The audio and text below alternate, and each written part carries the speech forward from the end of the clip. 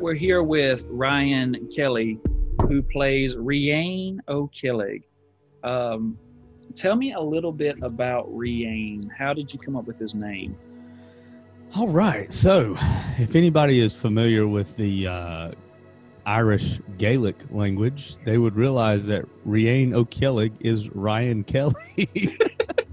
so original. And very original. So this is the first time I've ever played D and D, so I didn't exactly uh, plan ahead with with with names and character development. So, yeah, Riain is a is a Goliath that was abandoned at birth and adopted by dwarves, mountain dwarves specifically.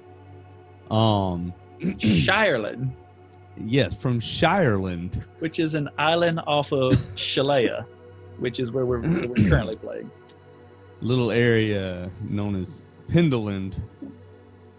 Uh, yeah, yeah, yeah. I forgot the geography of all that, but Shireland is definitely where uh, where Riain uh, originally resided before he began his journey. Yes, he's um, he was the town hero. He was he was the town hero. He was uh, regarded as very uh, very capable of of protecting the the, the community.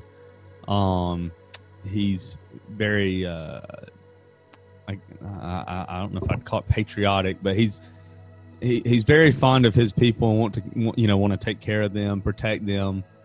But he also has some some personal things going on that he's trying to, you know, uh, uh, discover and, and, and learn about himself.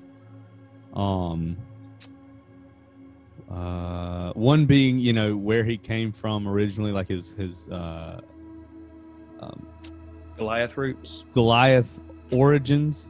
Um, one thing about Goliath, they do not have any kind of hair, and Riain has facial hair but not just any kind of facial hair. It would be facial hair fashioned from horsehair to resemble a very beautiful mustache and beard.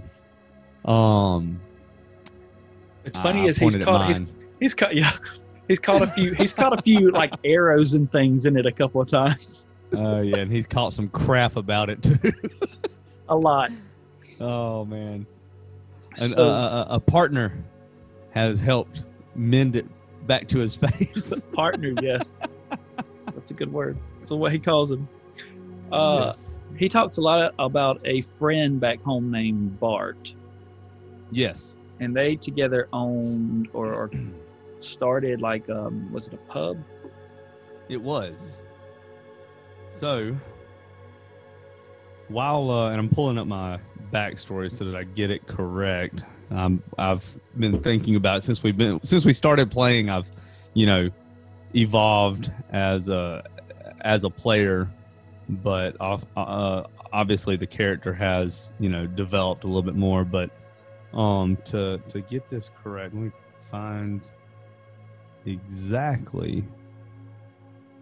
Ha! So yes, Bart, short for Bartholomew, was uh, his friend growing up. He, um, Riain, being he, uh, owned a business called the Shirish Ale House, and um, which was a brewery and distillery.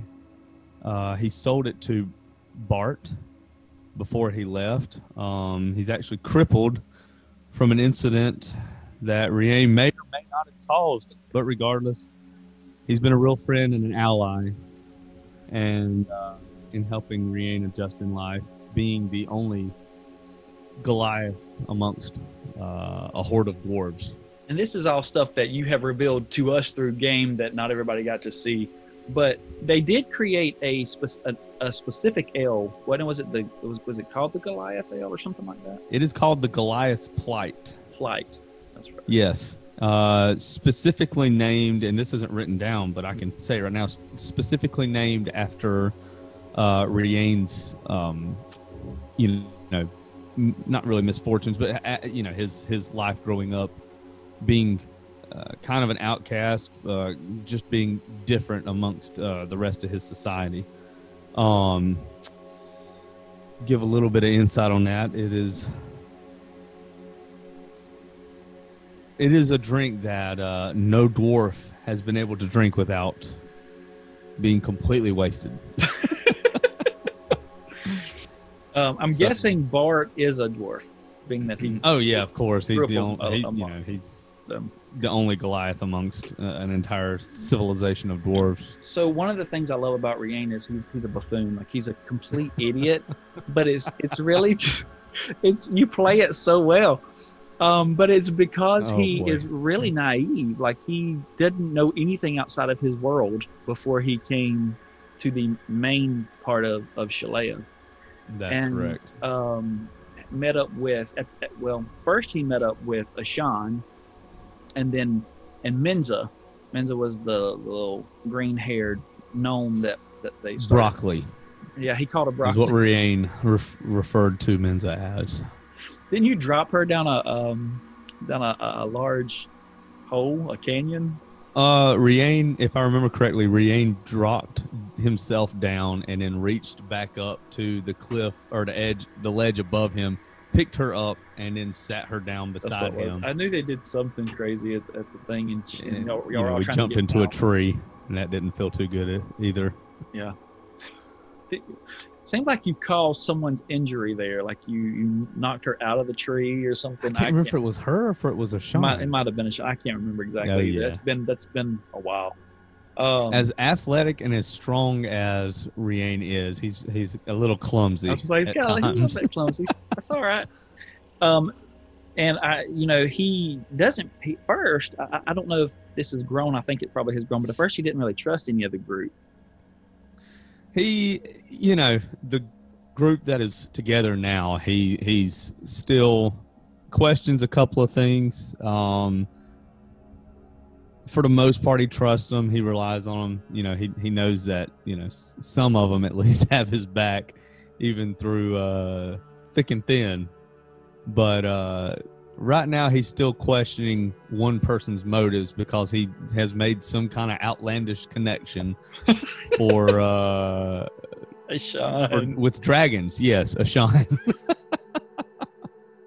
poor Sean. oh yeah Yeah, he it- likes to give Ashan a hard time So so Zephyr. Zephyr is yeah. Well, you know, Zephyr and Zephyr and Ashan consider themselves to be the smart ones of the group.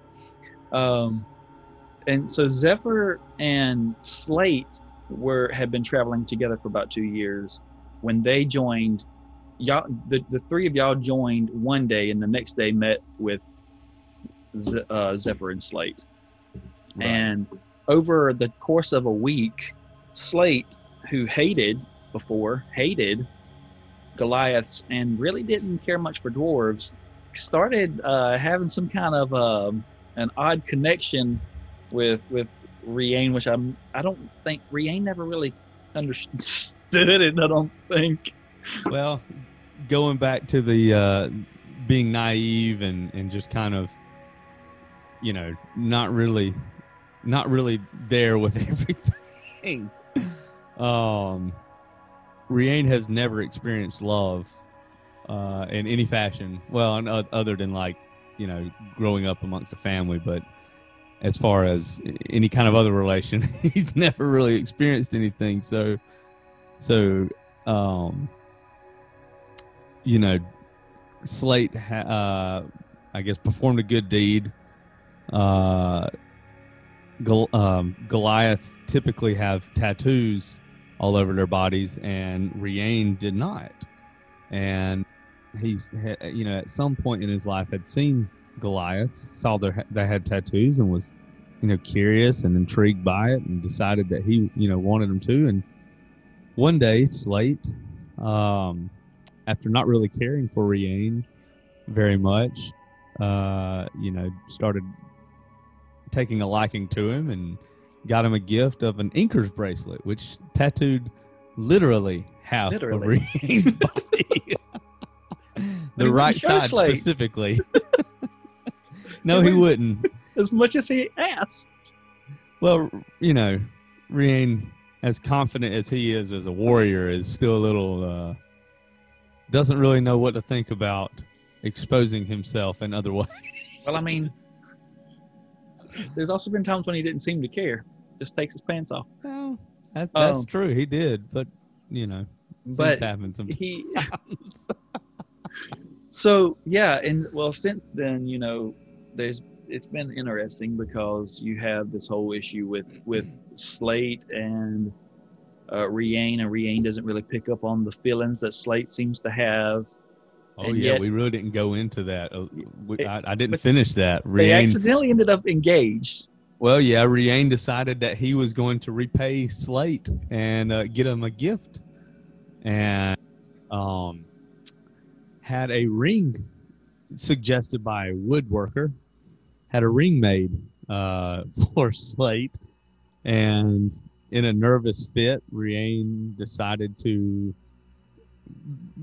become inebriated and didn't know really how to respond to much of anything going on. Falls on the floor, and uh, in in in the just the perfect moment of trying to get up, decides to give Slate uh, the gift. Uh, which Slate took that as a proposal because Riain was down on his knees and One night, holding the knee. holding the ring up and asking if he would, you know, take the gift. and he accepted. it, it, it caused quite a scene. It did well, not until they they traveled a little bit, and and and you know Zephyr's always um A little overprotective. a little overprotective. He's kind of bossy, and so he, but he uh he he he, he made sure to tell Riain not to uh, to to let him speak to to Slate first because they're, they they consider each other like brothers or whatnot. But Riain didn't wait. No, Riain couldn't help himself. He, um, he, you know, in the moment, in the heat of the moment, dur- right after a battle, um, Riain let the let the truth slip out that it was not. Well, a that wasn't no slip. That was just ripping that band-aid off. That is correct. Riain flat out told Slate, "I am not interested you in you in that fashion. As a matter of fact, I am not interested in you at all." um, no, he uh probably made a pretty bold but stupid move at that moment, that's, that's pretty and on uh, par. caused a yeah caused a little bit of tension within the group. Um, which uh yeah that that that turned out to be a good couple of sessions Well, so, so at he, that point he keeps us. We never know what to expect really from. from oh yeah oh yeah Riain being the uh kind of clumsy foolish but brutish individual that he is likes to uh likes to go into situations headstrong and not really thinking through what could possibly happen um that's pretty much every single time That's accurate. that is accurate. Gotten them in more trouble than anyone, I think. oh yeah But Oh, yeah. that's you know that's why we that's why we love Riain. oh boy and it Well- only gets better We well, we'll see. All right. Well, it I, could get a lot worse I appreciate you. Thank you for taking this time with me, Ryan. yes sir